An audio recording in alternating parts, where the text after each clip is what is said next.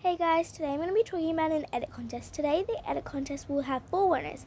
First place, second place, third place and fourth place. First place will get a friend request from me, edit, shout out and pin. Second place will get a shout out and an edit. Third place will get a shout out. And last place will get just a pin.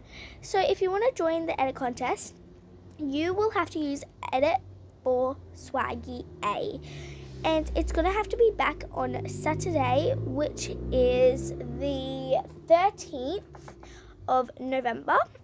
Okay, I want to tell you guys this edit, you guys are to have to edit. So, just in a few seconds, the edit will come up. So, I hope you guys all have a fabulous day. Bye, swaggies.